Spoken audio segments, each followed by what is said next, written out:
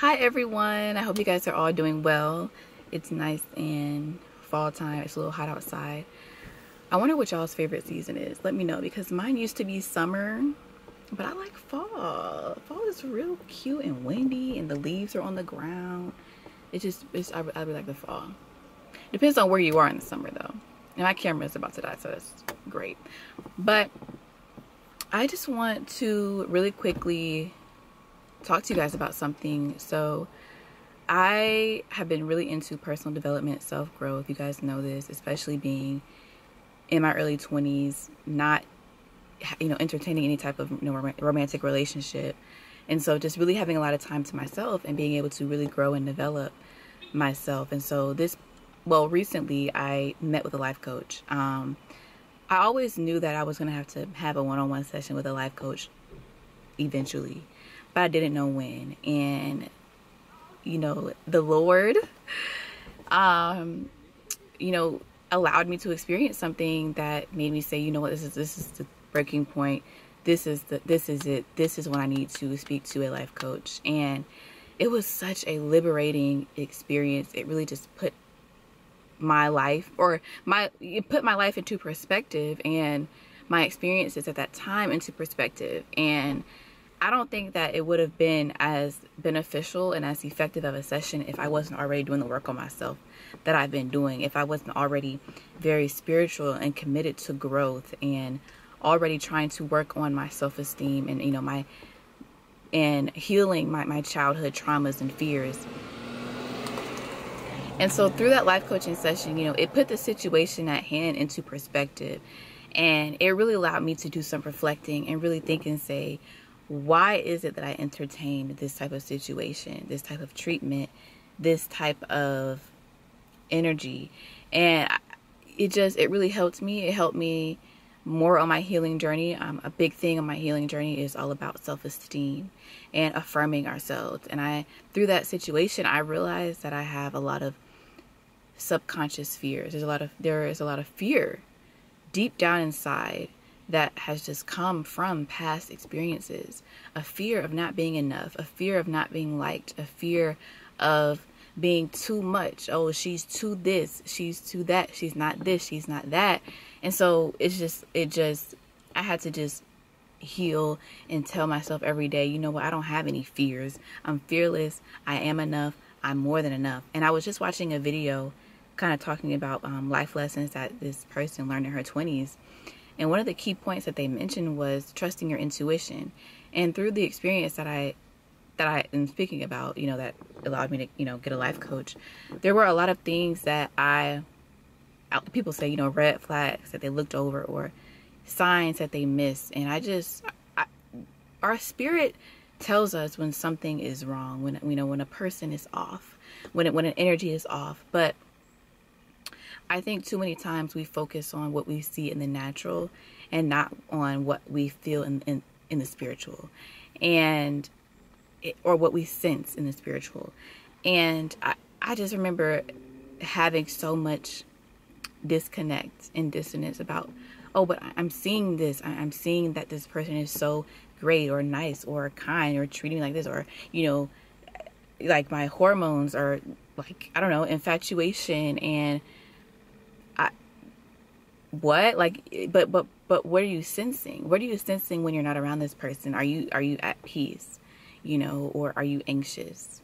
And I, I just realized just in general i've just become so much more spiritual and not paying it not even just in just in any type of relationship any type of person that i interact with i'm like okay this is what i see. You know this is what i hear. But what am i actually feeling? What am i actually sensing what we see in the natural eventually fades, but but but what we feel and sense in the spiritual is what remains. And at the end of the day, in any relationship, romantic, platonic, what do you really want out of that relationship? I mean, it that's something you need to ask yourself. Just really focusing on your spirit and trusting that and trusting your intuition. As a woman, you know, a woman's intuition is one of the greatest forces ever. And it you should trust it all the time. But if you're pure, wholesome, you you know, you're you're connecting, you're on a spiritual journey, you're connecting to your inner self and to your creator, trust your intuition. I and I, it's just it because I'm becoming so much more spiritual, it changes my my interactions. And I think it changes the aftermath of my interactions. I, whenever I would interact with do I want to say men or boys? I don't know, guys. Interact with guys, whatever. I, I, I would always have these doubts afterwards like oh, was i enough? Or does he think i'm i'm attractive? Or you know and all these things. I said why are you you should why am i having to do all of that? Why am i having to if you're having to question uh, this is fear and anxiety that we don't need. The fact that you're having to question it so much is a sign right there that where you are spiritually and where this person is it's not going to match this person didn't even take the time to show you how they really felt. But they want to play games and you're sensing immaturity. You're, you're sensing a lack of self-awareness and emotional awareness and emotional intelligence and maturity. So I don't, you know, I, I, I used to like ruminate on those things and think, oh my gosh, like, am I? And that used to get so depressing and just make me feel, wow, I guess I'm just not enough. Whatever. It's me. It's me. I'm the problem. But at this point, I'm like, look, okay, this is who I am. I'm going to focus on what makes me happy. What are my goals? What are my priorities? Okay, I'm in school. My priority is to graduate with my degree. It's to get my job. It's to start my business. You know, it's to continue to connect with God and with the Word and to be kind with everyone that I meet. You know, um, make sure that I'm that I have a, a, type of routine, that I'm not wasting too much time on social media, that I'm reading and, and sowing into myself, pouring into myself, pouring into those around me, serving. That that's who I want to be. Work on that, focus on that. And the person that I'm meant to be with will come into my life and I will know that this is my person. And I, I just think when you're so spiritually aware, I, I think honestly too, like when you're okay, when you're so spiritually high like when you're just on a different level spiritually you don't you know you don't seek validation from others you don't seek approval from others you're on like you you basically a boss people can sense that immature men or like even just people friends girls anybody can sense that and they know I'm not to bring my mess into her life. She's not to accept my mess. She's not to tolerate my mess. I'm very big on boundaries. I'm very big on saying no, putting myself first, and not being so nice. No more nice girl, okay? No more nice girl. You can be kind, but no more nice girl. No more people pleasing, okay?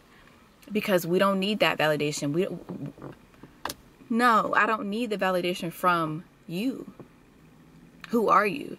and it's just I, I think I just want to wrap up by saying you know in my life I've I've I've, I've noticed you know because I'm constantly growing it's like people are constantly leaving you know my life I'm exaggerating but what I just it's just so great when you feel this sense of peace when someone has removed themselves from your life or you know when God has uh, given you the strength and the wisdom to not chase after someone once they have already removed them like that is such a blessing such a peaceful feeling I'm like I am at so much peace. I can now focus on what it is I'm truly meant to be focusing on and doing. And it's just so funny because I always think about how, you know, at any point in time we could be taken out of this world. I don't know how long my my time is going to be here on earth. I don't know when the Lord is going to call me home.